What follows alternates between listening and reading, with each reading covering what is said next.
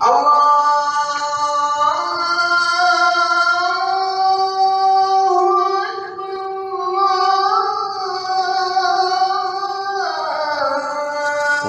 to the Voice of Islam.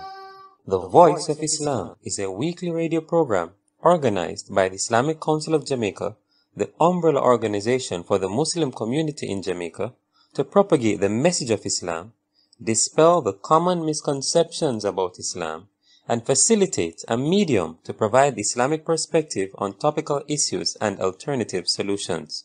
You may contact the Islamic Council of Jamaica at 648 9545.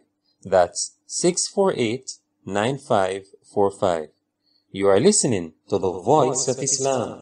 Before we begin, let's take a few minutes to listen to the recitation of verses selected from the final revelation to mankind, Al Quran. أعوذ بالله من الشيطان الرجيم. بسم الله الرحمن الرحيم. يا أيها الذين آمنوا توبوا إلى الله توبة نصوحا. عسى ربكم أن يكفر عنكم سيئاتكم ويدخلكم جنات. ويدخلكم جنات تجري من تحتها الأنهار. يوم لا يخزي الله النبي والذين آمنوا معه. نورهم يسعى بين أيديهم وبأيمانهم يقولون يقولون ربنا أتمم لنا نورنا واغفر لنا إنك على كل شيء قدير I seek refuge in the name of Allah from the accursed devil. I begin in the name of Allah, the most gracious, the most merciful. O you who believe, repent to God with sincere repentance. Perhaps your Lord will remit your sins and admit you into gardens beneath which rivers flow. On that day, when God will not disappoint the Prophet and those who believe in, in him. You are listening to the Voice of Islam. Inshallah, we will approach this this as a series, inshallah. And the intention is that we want to do three parts, and um, we'll seek some feedback, inshallah, in terms of the closeness of these programs. So one of the first things, so there are several things, as we said. One of the first issue is that issue of God. Person saying, I don't believe in God. A child come and says, look, I don't see why God, why do we need to believe in a creator? As I said, this will be more a discussion per se, but inshallah, before that, I'd like Sheikh Yafa to speak on this issue of this why God issue. What is this issue and how do we approach this issue, Bismillah? Bismillah ar-Rahman ar-Rahim. Assalamu alaikum wa rahmatullahi wa barakatuh. So the, the, the topic of um, uh, God or Allah is not, is not a new, it's not a new one. And people questioning, uh, does, does God exist? But we'll talk about what are some of the reasons for that. Uh, in the Quran, Allah subhanahu wa ta'ala says in Surah Yasin, you know, He created a human being and then He became an open opponent. So you are created, you are of nothing, and you grew up, you get some strength, and you your, men, your mental faculty grows, and all of a sudden you, you, are, you are challenging the one who, who created you. It's like you sitting in front of your computer and you made the computer and the computer is not working anymore. It just freezes on you. And, uh, and, and human beings thinking that they have power. So Allah subhanahu wa ta'ala continues saying that, doesn't the human being see that we created him from, from, uh, from a, a, a clot, and then he became an open enemy, and then he made an example for Allah. He tries to argue. He said, Who will bring back these broken and dusty bones when they have been on earth for very long? Some are burnt, some are buried, some die in sea. Who can bring them back together? How can God do that? But these are some of the questions today also that we are hearing, right? Allah subhanahu wa ta'ala says, Now, doesn't you, you, you are talking about bringing you back from something that is broken. Remember when you were created from nothing. There was a time when nothing existed and you were created. Now you're wondering how you can be created from something that already exists. Which one is easier? The easier one is to bring you back, right? We know now in, in, in labs, in the hospitals, they can take a drop of blood and they culture it. They make it, you know, they make it grow, right? And it's same blood, it has the same DNA. So if human beings can do that to that extent, however small is that, however small that is, Allah subhanahu wa ta'ala made you very unique, very unique. You can mix up with 1 billion people around the world. Allah subhanahu wa ta'ala will bring you out of them because every droplet of blood is different. Every fingerprint is, is different. Every um, um, biometric uh, measurement of your face is different. Allah subhanahu wa ta'ala created you uniquely and your blood is different. It has a DNA, even if you're an identical twin. So just like you see these small examples in, in the labs that are created by us to differentiate two, two, two droplets of blood, those cells to differentiate them, Allah subhanahu wa ta'ala can differentiate dust from human, from human particles, from human remains, and then take that human remains and actually bring them together and create and create you again, yourself, and make you more powerful or make you less give you stronger eyes or take your eyes from you. All of this is said in the Quran. So uh, this argument is old. Then Allah subhanahu wa ta'ala goes again and says, Isn't the one who created the heavens and the earth, which you cannot understand? Isn't he able to create someone like you? If the heavens and the earth are bigger and stronger and more magnificent, and we're still trying to explore them, so it is easier to create someone like you. So this is an old argument, and Alhamdulillah, uh, we are not we are not uh, dropping the our position to to argue for it and explain it to people. And it can happen. This kind of uh, mis misleading ideas can occur to Muslims, can occur to to non-Muslims.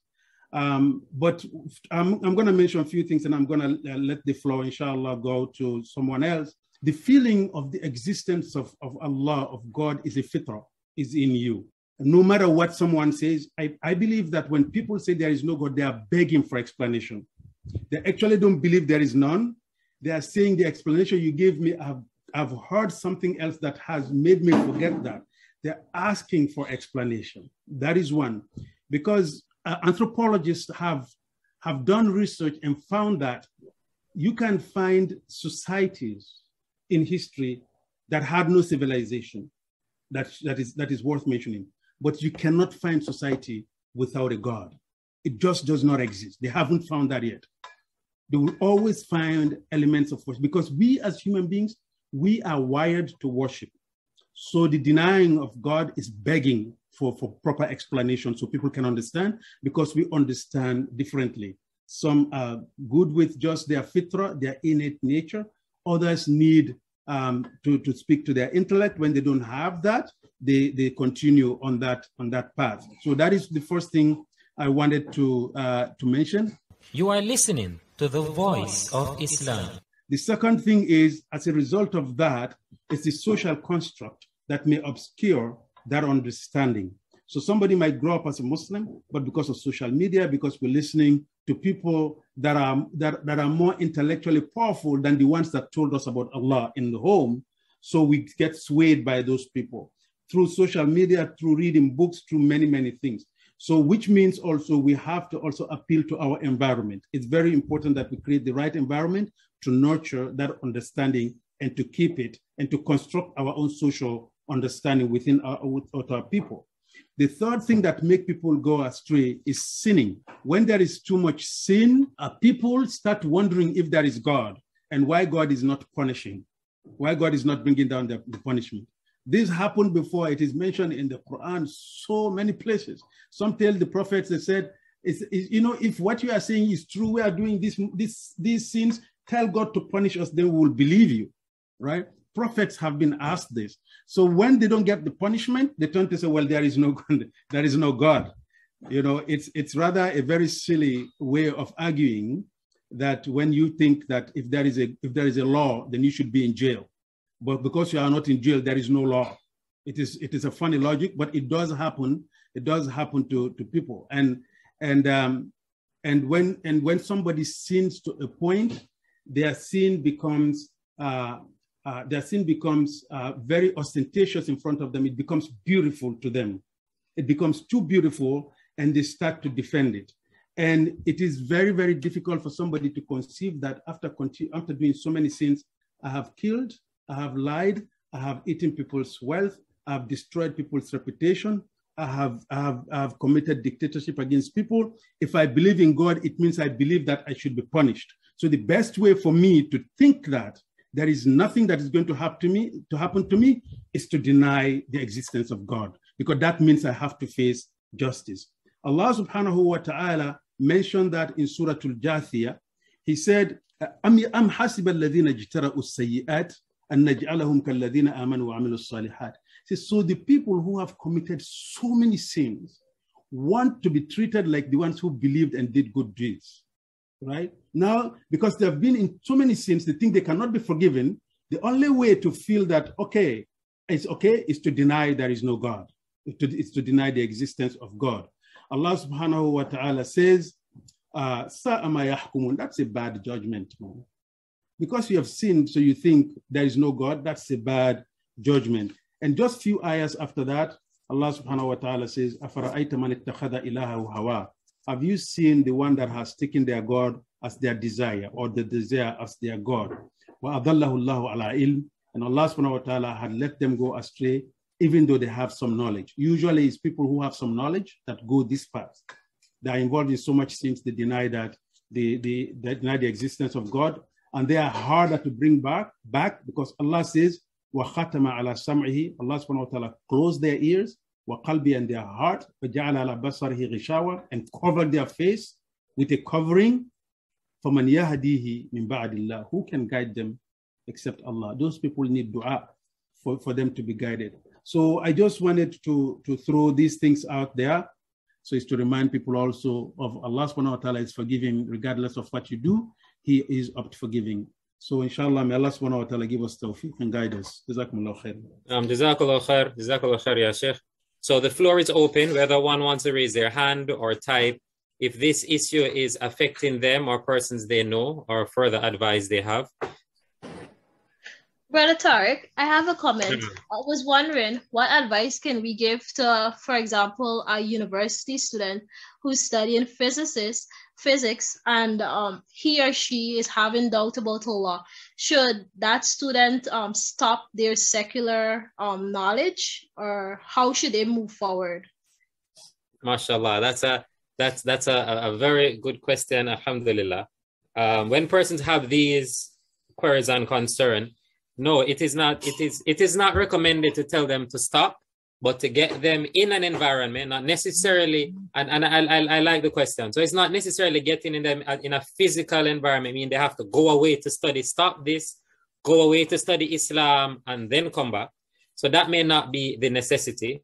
Only in extreme cases that might be the situation. But typically, it is best to get them in a setting. So even though they are studying, in a setting, whether it be an Islamic setting or in a setting with just you. So someone who can give them good advice. And this is why we said stimulating the thought. So somebody else you know who is in the field. So yes, many times we refer just to the scholars, but there may be another Muslim who is a doctor, who is very sound on knowing who Allah is, and through his studies in medicine, it has affirmed him as a Muslim. So I, I really appreciate that in terms of stimulating the discussion but it is not necessary to tell them to stop studying what you're studying, learn about Allah first. This can be done simultaneously. I hope, Allahu Alam, I hope that response is helpful to yourself and whoever might be listening, inshallah. You are listening to the voice of Islam. All right, so as I said, the floor is open. And I will get into the other topics. So I'll mention them, but it doesn't mean that we have left this one. But just to keep the, the, the discussions open because alhamdulillah, when we speak about these topics, many times it is shunned away. So the whole aspect of this LGBTQ plus community and persons considering themselves that you are you have binary thinking, but I don't limit my thought to binary thought. And this is why I am non-binary. When we listen to these concepts, many times nobody wants to be told that their thought process is limited And it is funny when persons will say it is because you have a limited view. You have a binary thought, but my view is not that limited. It is much more liberal. We are non binary. And what is this? What basically is this? Just to give a basic idea of all of these issues, the whole aspect of binary and non binary. Non binary are those persons who believe, and many times it is amongst those who consider themselves transgenders, but it is not limited to that group. There are those who consider themselves neither male nor female or both. This is at the basic, basic definition. So they consider themselves neither male nor female or both. So you will find a breakdown definition, for example, for non-binary. You'll hear other words. And it's important for us to know because if our children come to us or another adult come to us, how do we respond to this? How do we approach this? The other words they use for non-binary, for example, one of them is where they call it agender. So this is where, of course, you don't necessarily associate to any specific one. There's a one that they call bigender, which means that they belong to both. There's another where they call flu gender fluid. So it flows. You're male today, female tomorrow. And the third one is gender queer, where you make that decision. So these are some of the terminologies that we must be familiar with.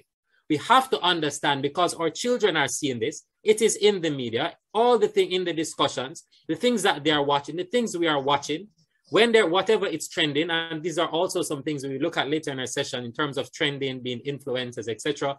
But this one is that one is not particularly for today. But it is important for us to understand what is happening in our society. So this is the whole aspect of the non-binary concept for those who are not, because when I sent out the poster, subhanAllah, persons asked me what is binary, non-binary. And these are senior individuals, so they were lost to what's happening. And alhamdulillah, I mean, once they are not exposed, but then if their children are exposed, they don't know how to respond.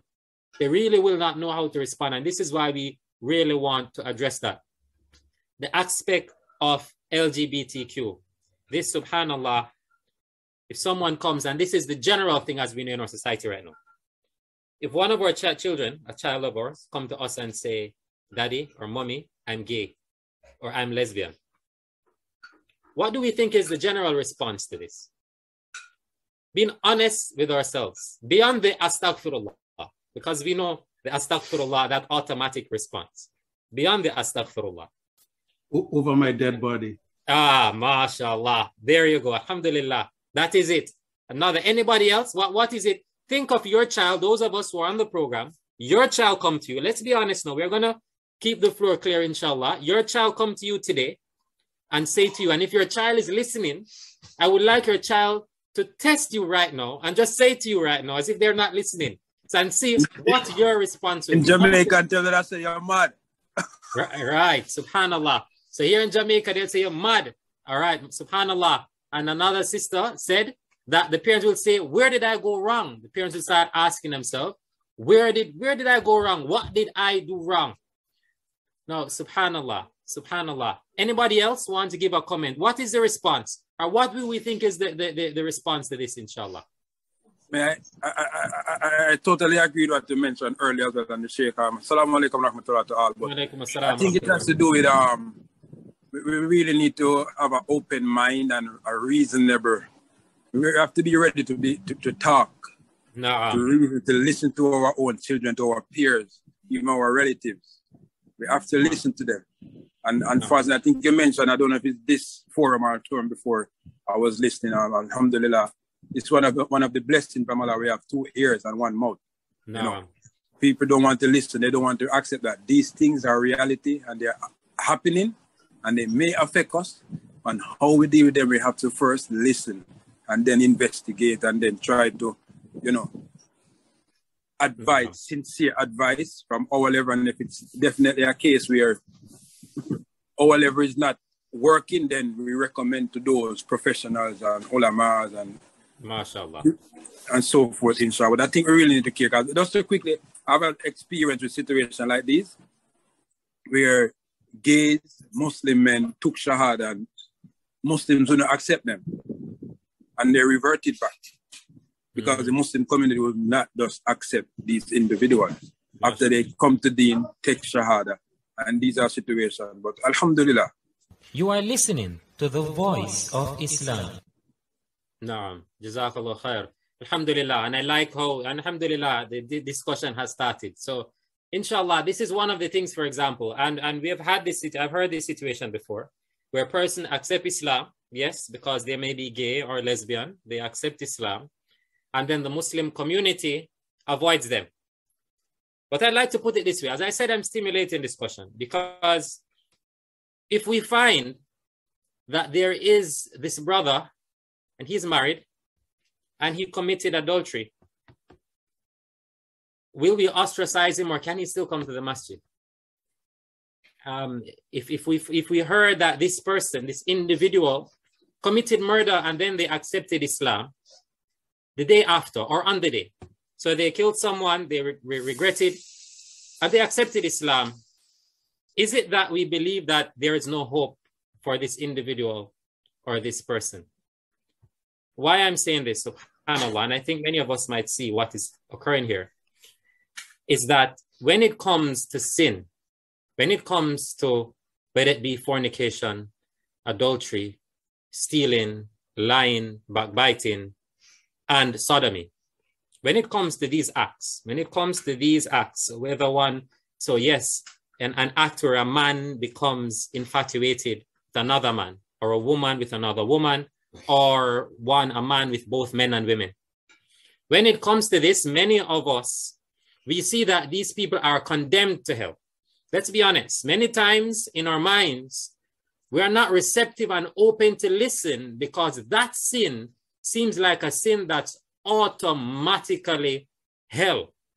So this is what many people, what we will find is that automatically hell. We believe that these people, you know what, there's no hope. So you accepted Islam, there is no hope. And another thing that we find as well, if somebody is an alcoholic, um, when they accept Islam, we we are what should we say? We are receptive and understand that it may take them a time to come off it because we know Alcohol Anonymous, we know that they, they are trying to come off, they are taking ease. But when it comes to this sin, whichever other sin it is, this man is going around committing fornication. He accepts Islam. He has a child out of wedlock, still accept him. Another child out of wedlock, another child, another child, another child. And it continues throughout his life. The next 20 years, he's committing zina, but he's well accepted. But for an individual who is committing an act, this act, if this person, subhanAllah, if this person commits this act, then as far as we are concerned, they cannot be Muslim. There's no dawah to these people. We don't say it outright, but this is what is happening. Many times, so do you find Muslims going? So you see two men seem like they're having the, uh, a conversation or discussion. Do we really think that we will speak to that individual when we hear and persons tell us that, you know, this man, he is gay, he's homosexual, or this woman, she's a lesbian? Do we approach them and try to bring the message of Islam to these people? It is very important for us to reflect. When we start judging, and the only judge that is supposed to be Allah subhanahu wa ta'ala, Allah subhanahu wa ta'ala says something that He forgives all sins, all sins, except shirk if you don't repent. So, subhanAllah, what does this mean, O Muslims? Think about it. Even if someone commits acts, these acts of homosexuality, it is upon Allah to decide if He will forgive that sin. Allah says the only sin that He tell you that He will not forgive unless you repent is shirk, the only sin. So many of us, and we find Muslims openly committing adultery, openly committing fornication, and then condemning the one who has these inclinations and these desires. I have seven points, inshallah, as to how do we address it. But before that, I would like, again, if there's anybody else having any comments, then um or, or concerns, and I'd like that, inshallah. So I'd say Dr. Mubarak, alhamdulillah, he's to speak. Assalamu alaikum wa rahmatullahi wa barakatuh. Wa alaikum assalam wa rahmatullahi wa barakatuh. Uh, Jazakallah khairan for speaking about this topic. I really like the way you address it, mentioning that people may have inclination. So I think we as a Muslim community, I know someone asked in the comment section that if someone openly actually uh, declare that they are this, so do we accept them? So what people do behind closed door is really none of our business. That's one way I want to address this. Number one, and also inclination is different from the act, right? People can have different kind of inclination, right? Oh, I have this kind of inclination, but does this person really act upon it? right? Um, we sometimes we kind of openly condemn people based on their inclination. Like, hey, you know what? I have this inclination towards same gender, right? I believe t- talking to that person and addressing whatever inclination that person have, why do you have such inclination, will go such a long way compared to us just uh, uh, uh, openly condemning them on the spot. Yes, we as a Muslim, we do not condone stuff like this, right? It is something that we do not accept, but also, uh, you know, we do da'wah with wisdom, right? There's always wisdom in the way we address uh, uh, issue like this. So that's just a comment I, I want to add. So the inclination is different from the act. And I think whenever we are addressing situation like this, we should put that in the back of our mind. Tune in next week for the continuation of the LGBTQ discussion and much more. Thank you all for listening to The Voice of Islam, a weekly radio program organized by the Islamic Council of Jamaica to propagate the message of Islam, dispel the common misconceptions about Islam, and facilitate a medium to provide Islamic perspective on topical issues and alternative solutions.